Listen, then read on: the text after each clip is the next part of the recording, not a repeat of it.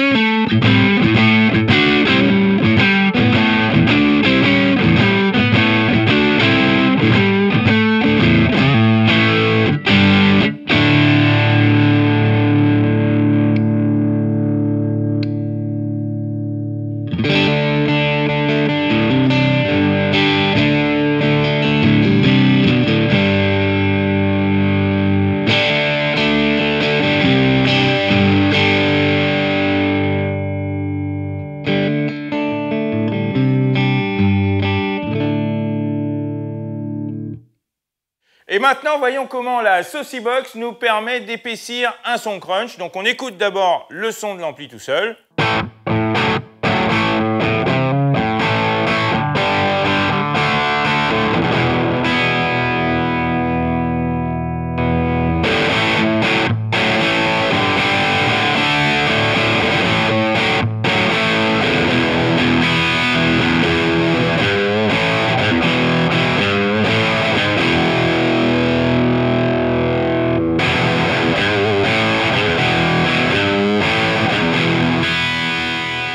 Passons maintenant à la Carbon Copy Bright. Suite au succès de la Carbon Copy standard, Dunlop a sorti une série limitée de cette Carbon Copy dont les répétitions sont un peu moins sombres, un peu plus bright, un peu plus brillantes, ce que nous verrons tout à l'heure lorsque nous les serrons.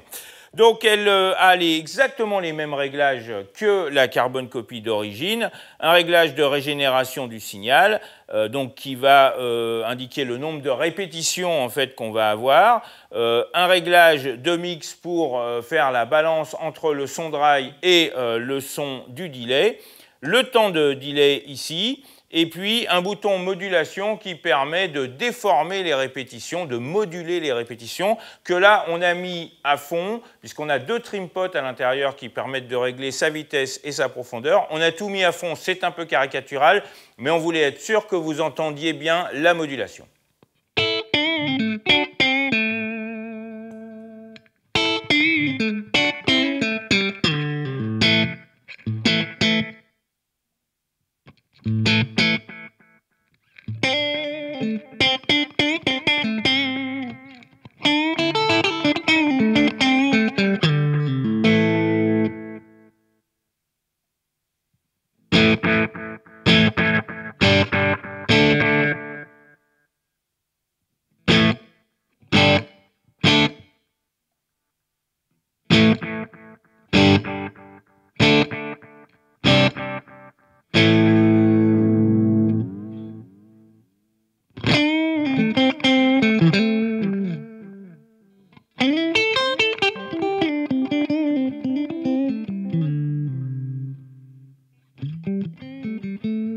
Mm-hmm.